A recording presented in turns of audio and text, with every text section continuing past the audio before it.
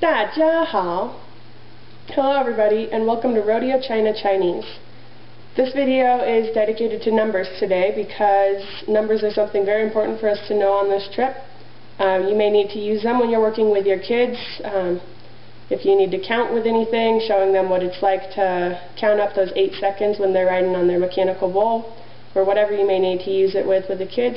Plus, when we're out and about in Beijing, it may be important to know your numbers for whatever we may be doing.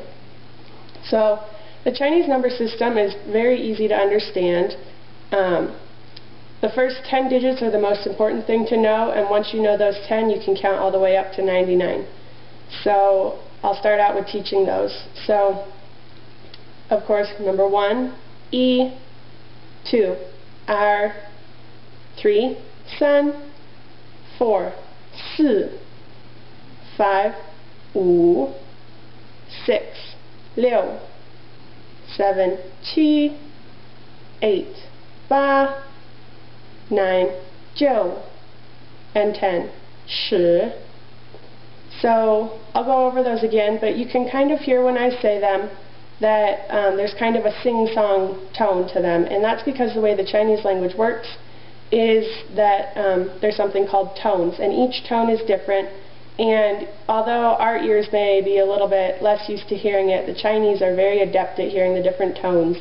And so it's very important to try and match those tones as closely as possible because it can determine the word you're saying. So I'll say 1 through 10 again, and you can listen for the tones. So 1, E, 2, R, 3, San, 4, si, 5, 5, six, zero, seven, qi, eight, ba, nine, zero, and ten, shi. So once you know those first ten numbers, it's very easy to put together the next 80 numbers that we have. So um, just to give you the example in English, the way that the Chinese say the number 11 is literally 10, 1 The way they say 12 is 10-2.